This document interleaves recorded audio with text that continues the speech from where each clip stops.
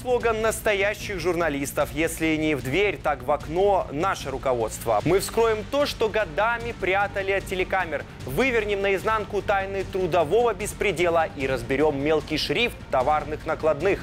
Народный контроль включает режим ревизии, и я, Константин Герцев, вместе с вами сыграю на стороне правды. Здравствуйте. Причина увольнения – смерть. Никто ничего правды нам никто никогда не расскажет. Почему рабочее место, что зона риска? Дело здесь абсолютно не в случайности, как пробуют это порой объяснить, а дело в закономерности. Когда ноль – лучший показатель. На всех предприятиях района и учреждениях, организациях недопущенного травматизма, конечно, дорогого стоит. Мороз по коже. За прошлый год 132 человека конец рабочего дня встретили на столе патологоанатома. А эпизодов, когда ЧП на смене закончилась поездкой в травмпункт, в десятки раз больше. Ай! Молодой человек, ну как же вас так угораздило? Да надо было фонарь поправить. Достал лестницу, полез, а закрепить забыл. Федерация профсоюзов и Минтруда бьют тревогу. Корректировки законов, тематические семинары, жесткие санкции. Но жить от этого не легче. И как показывает расследование, большинства трагедий все-таки можно было избежать. Внимание на экран. Охрана встает охрана труда, но не всегда декламируемые правовые нормы исполняются своевременно, а иногда они и вовсе перечеркнуты трудовыми обстоятельствами и виражом судьбы. В понедельник мы поехали, его собрали. Мы привезли до дома. В понедельник поховали, потому что его была сильно раструблена голова. Врачи сказали, что не дотруивались, потому что она развалится. Вот еще народу было очень много, конечно. Сердце матери окаменело от боли, а в выплаканных глазах пустота. Ее младшего из пяти детей Антона не стало полтора года назад. Утро 18 сентября 2021 для нее было и осталось в вечном моменте, когда сын был еще жив, улыбался, и эхом в ушах стоит такое близкое и одновременно далекое люблю. Антоша, вставай на работу. Он лежит, я опять. Антоша, вставай на работу. Я жить, я все, беру воду, открыла кран, иду с пустой кружкой, он уже сидит. Я уже устал. Я говорю, иди пей кофе, ешь бутерброд. И он устал, попил, пои. А и встает сразу. Хочешь, я тебе спою? Я говорю, иди ешь, спою. Все, пошел, сел, поел. Он, кажется, пошел. Тут из-за угла голова сол. Мамочка, пока. Я тебя люблю. Сестре Снежанне он приходит во снах. Также часто она приходит сюда, на место роковой случайности. На обочине его жизни крест и цветы, окутаны траурной лентой. Сырки очень сильно любил, глазированные, конфеты, все любил.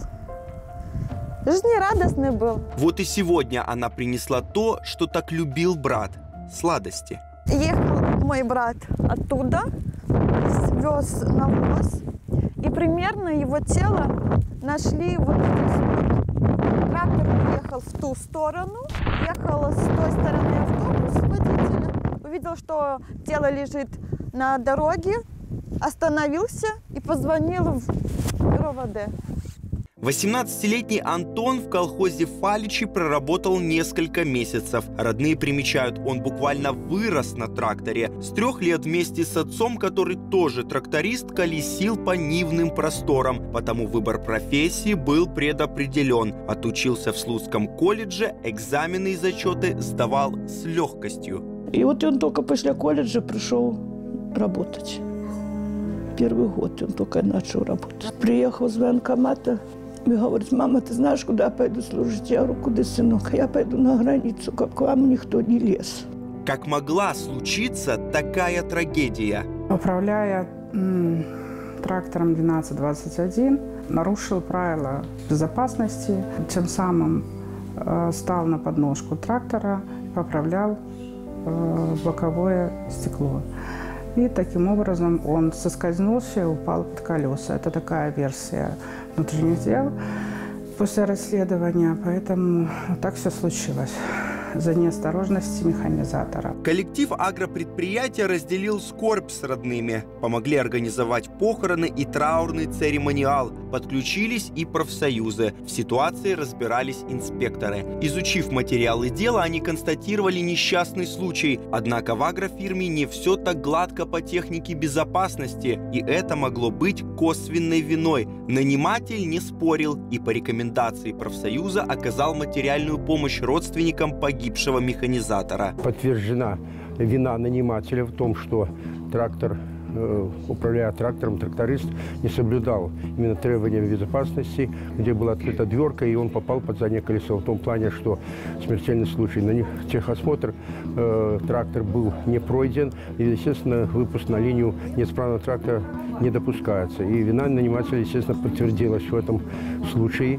Отец обратился с э, заявлением в областной комитет профсоюза оказать помощь о выплате э, материальной помощи. По рекомендации профсоюзов мы выплатили материальную помощь родителям в размере 17 тысяч 480 рублей белорусских за несколько месяцев 2022 года. Демидовичи получили матпомощь. Из этих денег поставили памятник на кладбище и заказали ограду. Они помогли, они очень помогли. Они заказали нам кафе. Все напитки, закуски, все было за колхозный счет. Ну, венки принесли, и директор была, и замдиректора, и инженер, все приезжали, были на кладбищах. Я писала заявление, и по этому заявлению нам перечисляли деньги на карточку. Конечно, никакие финансы горю утраты не помогут, но рука помощи как поддержка в пропасти отчаяния, и профсоюзы здесь задают правовой тон. Ну, привет, сынок мой. Привет, моя звездочка. Привет, сынулька моя. Привет, зайчик мой, привет. Кладбище, где похоронен Антон, буквально виднеется из окошек его родного дома. Татьяна Николаевна каждый день вот уже полтора года несет свою личную вахту памяти на могиле у сына. В летний зной, в метель мама хочет быть с ним, хоть так, глядя в гранитные глаза своего солнышка. Я думала, что я никогда не переживу, а лишь вот пережила, живу. А он лежит, глядит на меня, улыбается мне. Жде меня каждый раз, як я иду. И он уже знає, що мама зараз прийде. А вот такие напоминания в лучших традициях завод «Арт» висят на стенах цехов Минского тракторного. Лозунги подчеркнуты эмоциональными плакатами, а гидка от профсоюза и руководства предприятия. Ведь такое творчество тоже и строить, и жить помогает. По крайней мере, безопасно. На зубок здесь знают и инструкции, они уж точно сродни инстинкта самосохранения. Но повторение иногда мать выживания. Это движущийся состав. Э, Возле него проходить нельзя. Э, Под ним, рядом с ним на расстоянии двух метров. Э, Чем еще опасно, это цепи. Почему я работаю в каске, это потому что может, не дай бог, ударить по голове цепью, либо пультом тем же самым. Но это как ни крути производство, повышенная опасность. Тут э, даже если из мелочи, то даже простой ключ гаечный может упасть на ногу и сделать травму человека. Никогда еще так гордо для промышленного гиганта, флагмана белорусского машиностроения не звучала эта строчка антирейтинга. МТЗ – аутсайдер в топе производственного травматизма. Оттого инспектор по охране труда с осторожным оптимизмом, но все же не без явного удовольствия от результата заявляет. По общему травматизму на нашем предприятии идет э, снижение. В 21 было 24, а у 22 э, 22 случая. Вот именно профсоюз не в стороне от всех этих вопросов. У нас целая армия обще- общественных инспекторов по охране труда на нашем предприятии. Они работают в прогруппах, вот именно в гуще своих трудовых коллективов. Они все знают, они все видят. Вот, и их работа направлена вот именно на профилактику травматизма. Профсоюзные агенты, хранители трудовой дисциплины на МТЗ, дают бой безалаберности. Без каски и спецформы здесь и умышленно не проскочишь. Повсеместный дозор. А коли неприятная статистика пополняется, так это чаще дело житейское. Из примеров шла, поскользнулась, гипс. Лучше бы я упал вместо тебя. Что ты, Геш, спасибо. Береги руку, Сеня, береги. Роль виновника в таких случаях играют каблуки и погода. Совершенно непредвиденная история случилась в одном из заводских общежитий. Маляр, стоит отметить, при всей амуниции оступилась на лестнице и получила травму. Из цеховых страшилок отвлекся и ударил отбойником по пальцу. Трудовые ангелы. Меж станками так любя называют профсоюзных инспекторов. На передовой разбирательств. Каждый факт ложится в основу очередной профилактической беседы. Опыт таких предприятий должен быть заразителен. От того через МТЗ проложен практический маршрут республиканского семинара совещания по вопросам охраны труда. Участники со всей страны познакомились с методиками работы на Минском тракторном и оценили их непосредственное внедрение. В Республике Беларусь, в тех организациях, в которых осуществляется общественный контроль и действует первичная профсоюзная организация, то уровень производственного травматизма из года в год снижается. Плюс у нас э, э, осуществляется общественный контроль с целью создания здоровья безопасных условий труда. А что это значит? Значит, все работники в этот э, процесс у нас включены. То есть от каждого, от низов и до верха, все могут повлиять на свое рабочее место и улучшить. За последние 20 лет производственный травматизм в стране сократился в три раза, а смертельных случаев стало в два раза меньше. Но у вины прежние пропорции. Статистика показывает, более трети ЧП происходят по неосторожности самих сотрудников. А ведь кроме прав у них есть обязанности, среди которых черным по белому и инструкция по охране труда. Соблюдая трудовые истины, и нанимателям не пришлось бы выполнять сложную миссию – выплачивать по требованию профсоюзов так называемые гробовые в соответствии с коллективными договорами только из-за смертей выплачено 2,9 миллиона рублей за прошлый год. Это суммы громадные. То есть это, эти же деньги они могли вложить в модернизацию производства, там, на выплату, например, каких-нибудь материальных благ. В последнее время ситуация очень кардинально поменялась. Все наниматели понимают всю ответственность, потому что если работник уже погиб на производстве, значит уже 100% вина есть нанимателя. Это одно. А вопрос в другом, что есть недобросовестные, которые, э, как говорится, только через суд могут. Поэтому люди обращаются к нам, и мы помогаем им составить все необходимые документы в суд, и идем в суд и отстаиваем права, и добиваемся всей правды. Как стремиться к нулю? Речь про травматизм. По инициативе Федерации профсоюзов и Минтруда и соцзащиты прошел республиканский мозговой штурм. Усилить ответственность за нарушение или мотивировать материально. Новые инициативы, прорывные решения и опытные заключения. Заинтересованные стороны устроили настоящие дебаты, возведя на пьедестал главное – заботу о людях.